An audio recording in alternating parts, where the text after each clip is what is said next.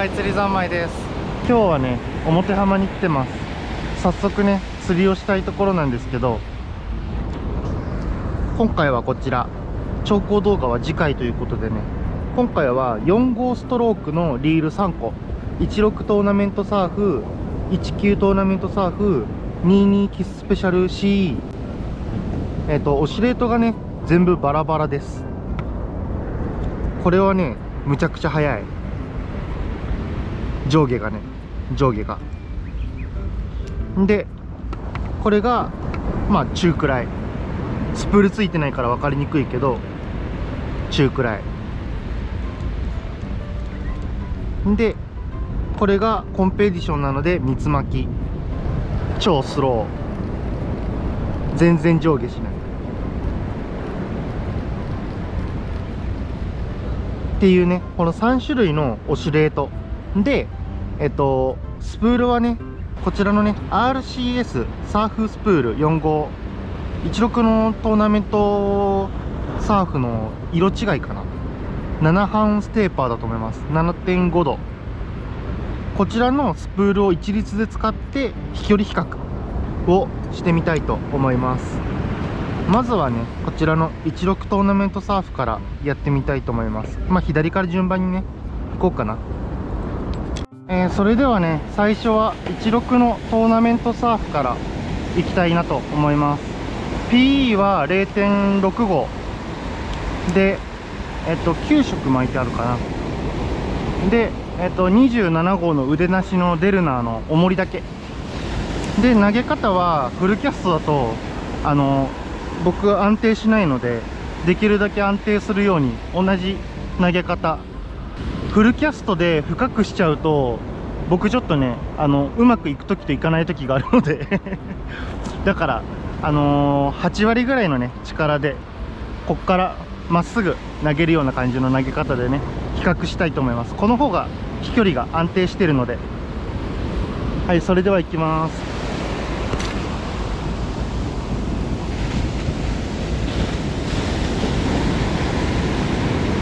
で着着水したらあのそのままね糸吹きが出た状態でフリーフォールさせます。条件を一定にするためにねここで糸吹き取っちゃうとあの糸吹きがない状態だとねカーブフォールしちゃうのでねできるだけフリーフォールさせて潮のね流れはちょっと考慮していませんが。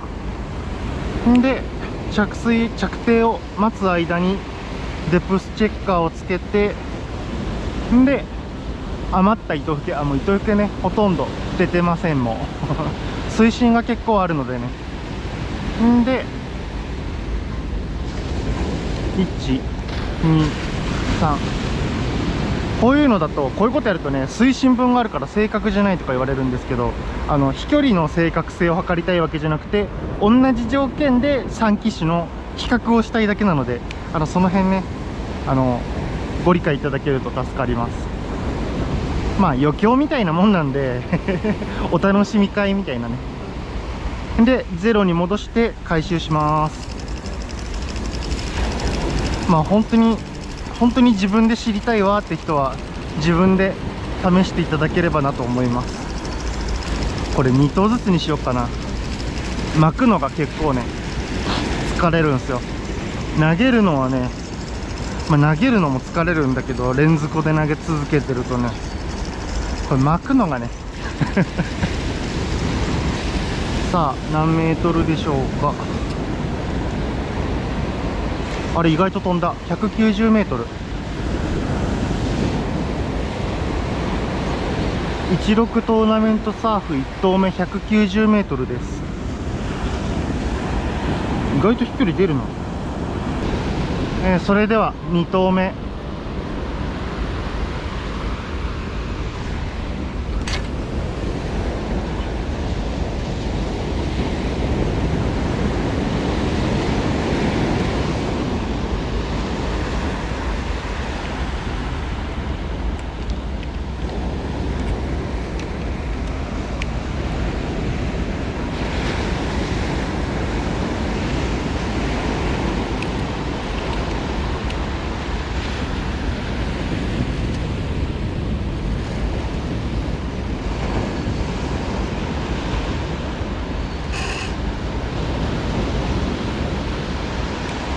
でリセットしてはい回収。ち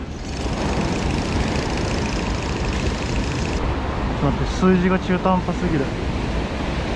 あれ2投目 180m えらい差が出ちゃった。1投目と2投目で。僕のキャスティング精度とか風向きとかの関係もあるので正確性はなかなか疑わしいですが。これ同じようにキャスティングしたつもりなのに 10m 差が出ちゃったからね。えー、それではねトーナメントサーフ1投目。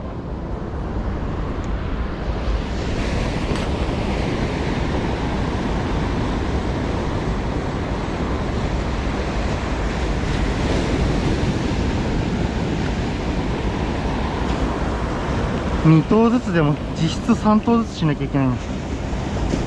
16の1投目が一番飛距離出てる気がする。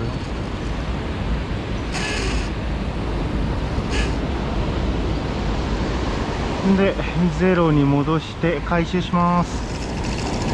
えっとトーナメントサーフ1投目 182m えそれではトーナメントサーフ2投目投げたいと思います。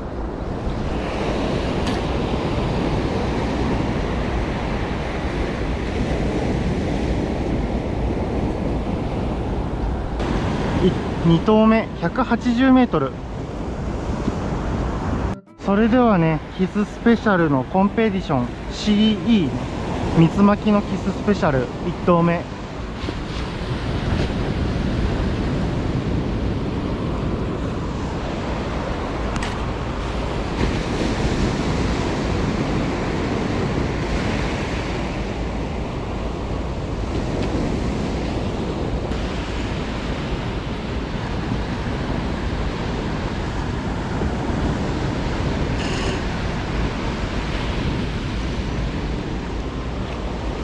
ー、それではキススペシャル1投目。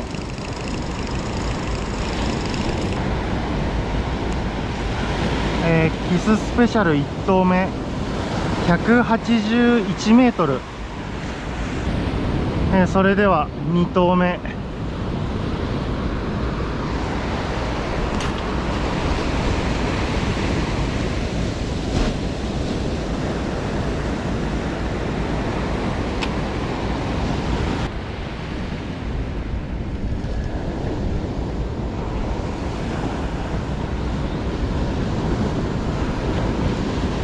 でリセットしてあれリセットがボタン押せん。あれ。えー、回収します。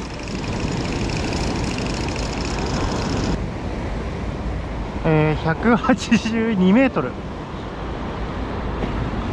変わらんね。衝撃的だなちょっと。16トーナメントサーフのね1投目がちょっとたまたま深いところにね落ちた可能性があるので最後に1回だけ投げてみます。